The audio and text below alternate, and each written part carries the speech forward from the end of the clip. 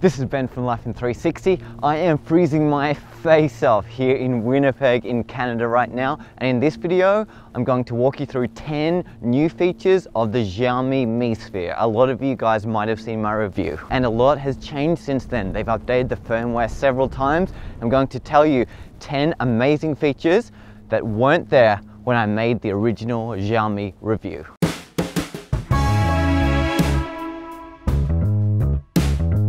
The first super amazing feature is it now shoots RAW. Oh my God, the Xiaomi, one of the best three, consumer 360 cameras, now shoots RAW.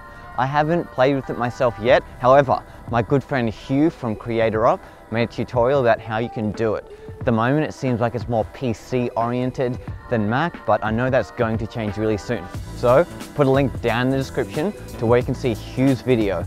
And you might want to check it out because you can now shoot DNG RAW using your. The next exciting feature is this is soon going to be a 4K camera. Currently it's 3.5K, but through a firmware update coming really, really soon, it's going to be now a 4K camera. And you know what? The 3.5K already looks kind of like 4K, so I can only imagine how good the 4K is going to look when the firmware update drops. By the way, my eyeballs have just turned into ice cubes, so if I look off in different directions, it's not my fault. The next feature is Xiaomi have released an amazing selfie stick that pairs with the Mi Sphere. This is a perfectly designed selfie stick. Because the Xiaomi is such a thin camera, even my favorite Manfrotto selfie stick, the two-in-one selfie pole, is still too thick for it.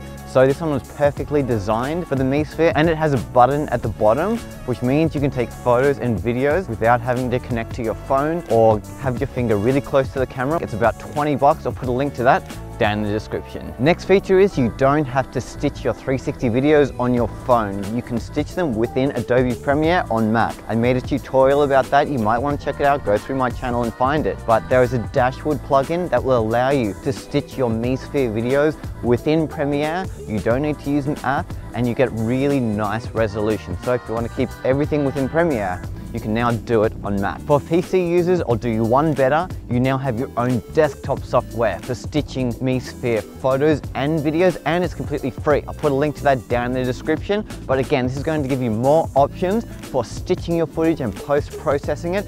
You don't have to stick to your mobile if you have a slow mobile, or if you feel like the resolution is being reduced, you can now do that on Mac and PC. In a recent firmware update, they've added slow motion and it seems to be about 120 frames a second. However, this isn't legit, I don't think. I think it's just slowing down the 30 frames per second video down to 120. You can see when you record, it'll show you the duration of the time you've been recording and it'll show you the slowed down time. So for every one second, there'll be four seconds underneath. So it is slow motion, but it's not really slow motion. You can shoot in 60 frames per second and that's going to give you better slow motion. However, there is a significant resolution loss. So although this is a good feature, I'm probably not going to rely on this slow motion because it's not going to be really that smooth. You can also do fast motion as well. The Xiaomi can now do time lapses and you can choose your intervals of two seconds all the way up to five minutes per photo and have it run as long as you like.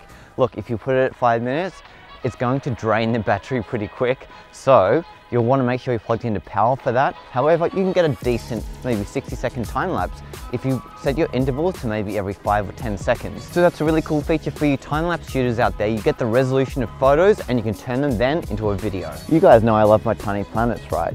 Well, you can do a tiny planet preview before you actually take your photos and videos. You can change the viewing mode into four different viewing, viewing modes. But for me, Tiny Planet Preview is going to be awesome because it means I can get the best Tiny Planet possible before I even press the shutter button. And ah, snow! I can't feel my face and I can't talk properly. Muscles are seizing up, must survive. Ah, ah. I will eat this for sustenance. Don't do that. Speaking of Tiny Planet, there's now a Tiny Planet editor within the Mi Sphere app. It's kind of like free capture from the Insta360 ONE, and it allows you to move your 360 around into Tiny Planet into a regular 360 viewpoint, and it's as simple as pressing the record button and bam, there you have a Tiny Planet video. Then you can trim it and export it, and it's all pretty darn easy. A lot of you guys are curious about the Madventure 360 camera. You've seen my unboxing video, and yes, this is an orange version of the Mi Sphere. Is it an upgrade? No. It's essentially the same camera body and it's going to have a few more features and maybe a few more accessories, but it's more or less the same thing. However, this will be another option. So if you are looking to get your first or second 360 camera, the Madventure 360 is going to be an awesome option, but it is going to be pretty similar to the Mi Sphere. At the moment, it's scheduled to release in December sometime, so I would still consider the Mi Sphere you're looking at getting a camera because it's more or less going to be the same. Finally, we had the price. When the Mi Sphere first came out, it was around $300. Now, on average, it's about 220. So I'll put a link down in the description to where you can find it on GearBest, but now this is a, this is a much more affordable camera. You don't need to break the bank to get awesome photo and video. You guys have seen our video and photo side-by-side -side comparisons of the Mi Sphere and other cameras and it beats almost everything. So this is a really awesome investment if you're looking for your first or second 360 camera. It's now 200 to 250. Sometimes it's 200 or less. So check the link in the description of this video because you never know, it could be under $200 at the time of watching this. I can't promise, but I, I will keep updating coupon codes so you guys can get the best deal possible.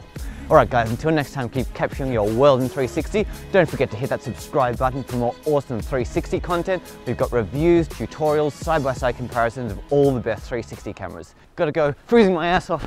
Bye!